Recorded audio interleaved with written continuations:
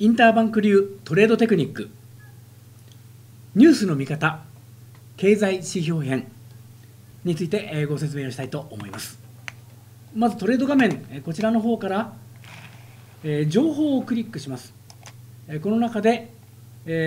こちらマーケットナビございますのでマーケットナビを押してください。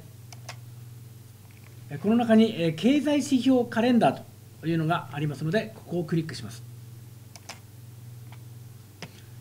そういたしますと、えー、例えば今日の経済指標が出てまいります。日付が本日付ですね。えー、そうなりますと、えー、例えばその月間を表示しておりますので、え日付を変える場合、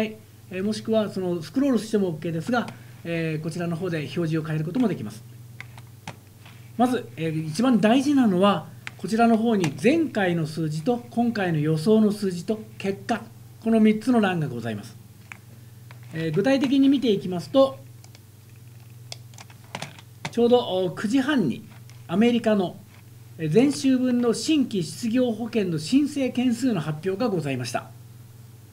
前回27.4万件に対して27.5万件数字が増えている。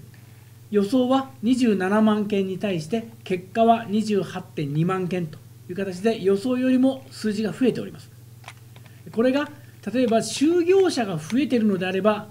プラス要因になりますが失業保険の申請をしている人間が増えるということは経済にとってマイナスだという判断からこれはドルの売り要因になります。したがいましてこの予想と結果とを比べてこれが経済にとってプラスかマイナスかを判断しその当該通貨の売りか買いかの材料といたします。特にえこのようにですね、え黒字の部分と赤字の部分がございますが赤字の部分は、え弊社でその部分の指標が大事な指標であるというふうに思ったものを赤字で表示をしてございます。